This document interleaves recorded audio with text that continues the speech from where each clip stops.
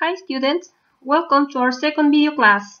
Today we are going to continue working on Unit 1, Joy from Work. The class objective is to learn about jobs and occupations, focusing on unit vocabulary and expressions. First, remember, a job is the work that someone does to earn money. Now, let's see some keywords related to jobs and occupations. First word, candidate. A candidate is a person who applies for a job. Example, he is the best candidate for this job.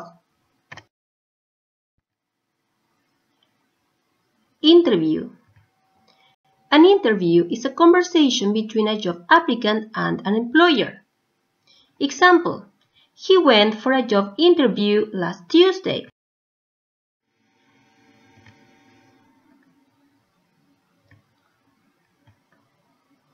Salary.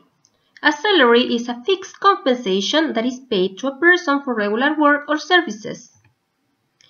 Example, she receives her salary at the end of every month. Application. An application is an official request for something, usually in writing. Example, sadly his application was rejected. Qualities. Qualities are performing features of someone or something. Example, he has a lot of good qualities, but being organized is not one of them.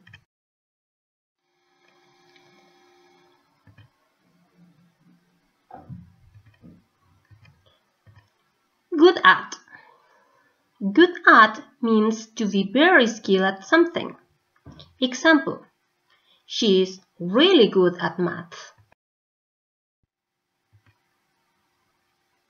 Apply for. Apply for means to make a formal application or request. Example, she wants to apply for the local administration position.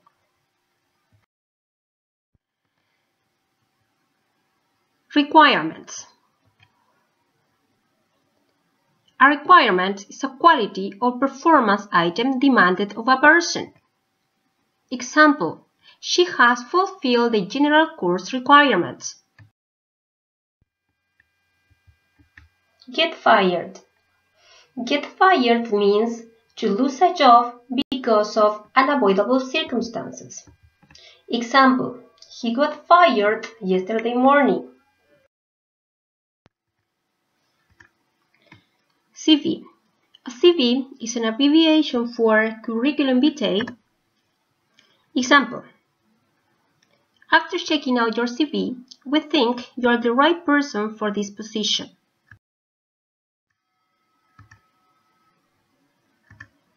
Part-time job. It's when you work a portion of a regular time period. Example. She found a part-time job as a secretary.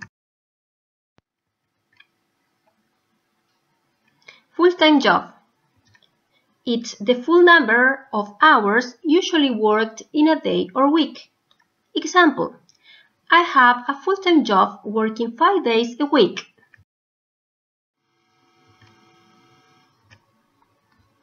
Now, we're going to check some expression related to a job interview.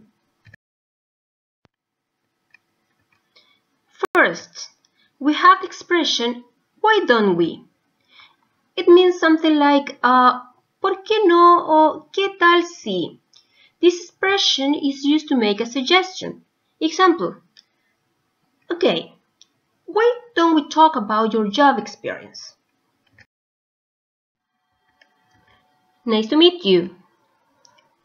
Nice to meet you is a polite expression used when the speaker is first introduced to someone.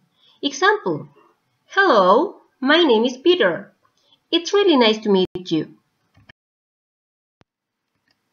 Talk about is to have a conversation with other people related to a specific topic or situation. Example, let's talk about your secondary grade experience. Now, let's see some expressions in other context. First, why are you applying for this job? I'm applying for this job because I can contribute with my knowledge and experience. Second situation. Good morning, Mr. Jones. Nice to meet you. Good morning, sir. It's really nice to meet you. In order to finish, I'm going to give you a task. For this, you have to read the question and write the correct number in each box. Once you finish, send me your answer to my email. Okay, children, this is all for today class. Questions? Please send me an email. Have a nice week. See you soon.